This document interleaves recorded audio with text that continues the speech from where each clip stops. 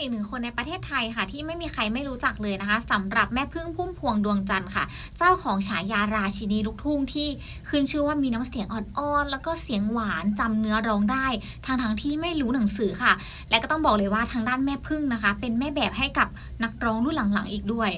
โดยทางด้านแม่พึ่งพุ่มพวงค่ะ ได้เสียชีวิตเมื่อวันที่ 13 มิถุนายน พศ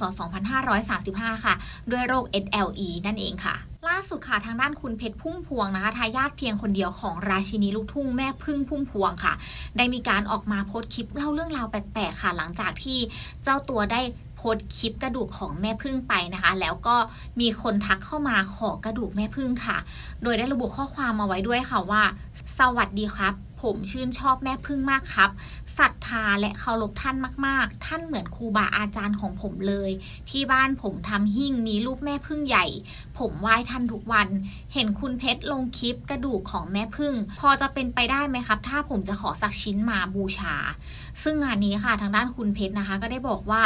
ตนเองนั้นเข้าใจในความรักนะคะ และก็ศรัทธาที่มีต่อตัวแม่พึ่งค่ะ แต่การที่ทักมาขอกระดูกแบบนี้ค่ะ คุณเพชรก็บอกว่าตนเองนั้นไม่ได้โกรธแต่มันกลับเกิดเป็นความสงสัยว่า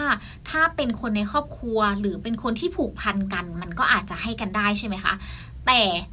ในส่วนของเรื่องนี้ค่ะคุณเพชรก็บอกว่าไม่ได้รู้จักเป็นการส่วนตัวแล้วทักมาขอแบบนี้ คุณเพชรก็บอกว่าผมให้ไม่ได้ครับ ไม่ว่าจะเป็นข้าวของหรือว่า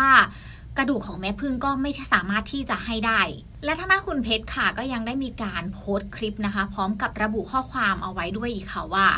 ลืมบอกว่าถ้าอยากจะได้กระดูกของคุณแม่ไปบูชากันจริง ๆ แนะนำที่วัดทับกระดานเลยครับ มีพระที่ผสมเท่ากระดูกของคุณแม่